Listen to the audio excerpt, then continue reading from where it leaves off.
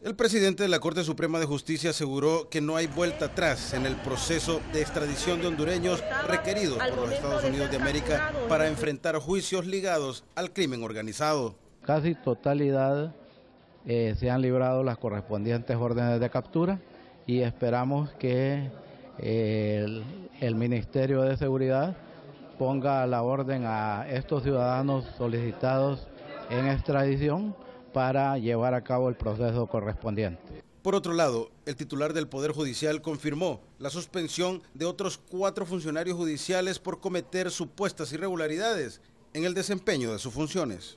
La principal eh, eh función del, del Consejo de la Judicatura y la carrera judicial es eh, verificar la disciplina de los empleados y funcionarios del Poder Judicial y hasta este momento se siguen conociendo todas las denuncias y todos los expedientes disciplinarios.